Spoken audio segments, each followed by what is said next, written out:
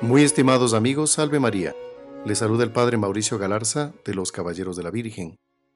Vamos a continuar con los extractos de la obra del Padre José Fuchs, que nos habla sobre los santos ángeles y a su vez nos da a conocer ciertas revelaciones privadas que tuvo la religiosa llamada Magdalena de la Cruz, que le citamos hace pocos días en otro Buenas noches con María.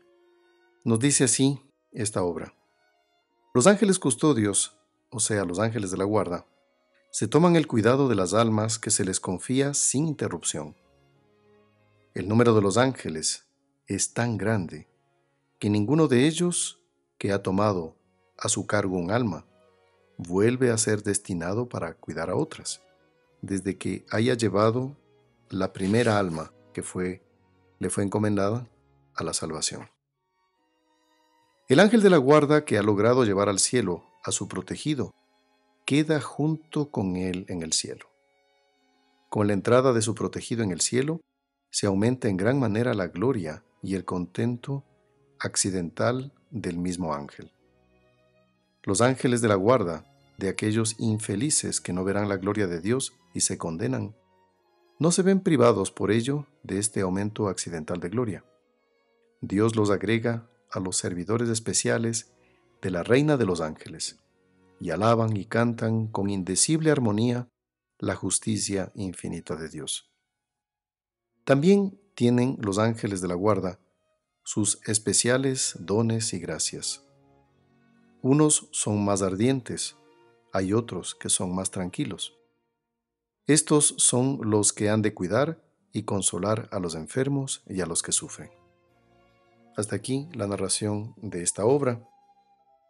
Los ángeles de la guarda son innumerables, son enormes en cantidad y en poder también. Nosotros, cuando tengamos aflicciones, dudas, debilidades, sepamos que al lado tenemos a este compañero que nos da fuerzas, nos da ánimo, nos anima. Seamos fieles siempre al ángel de la guarda. Pidámosle al ángel de la guarda que vulnere nuestros pensamientos.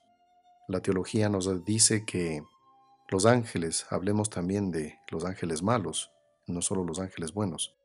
Por su naturaleza, no pueden ellos saber lo que pensamos, lo que razonamos. Lo que sí pueden ellos es intuir lo que estamos pensando. ¿Por qué? Por los gestos. A veces estamos un poco más tristes, otras veces como más animados. Y de acuerdo a eso el ángel va intuyendo, sea el uno que es malo o sea el otro que es bueno, para hacer una estrategia para que mejoremos o empeoremos. Nuestros ángeles de la guarda, naturalmente, quieren que mejoremos. Pidámosle a ellos para que entren en nuestros pensamientos, que ellos nos animen siempre, que no caigamos en la desesperación jamás. El ángel de la guarda es nuestro mejor amigo y compañía, mucho más que una mascota, que un amigo del barrio. El mejor amigo, el mejor amigo es el ángel de la guarda. Pidámosle a Nuestra Señora para que le tengamos más devoción a este ser tan extraordinario que nos acompaña pero más ayuda y más presencia tiene con aquellos que más le invocan al ángel de la guarda. El Señor esté con ustedes y con tu espíritu, y la bendición de Dios Todopoderoso, el Padre y el Hijo y el Espíritu Santo, descienda sobre ustedes y permanezca para siempre. Amén. Dios te salve, Reina y Madre, Madre de misericordia, vida, dulzura y esperanza nuestra.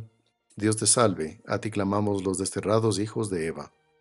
A ti suspiramos, gimiendo y llorando en este valle de lágrimas.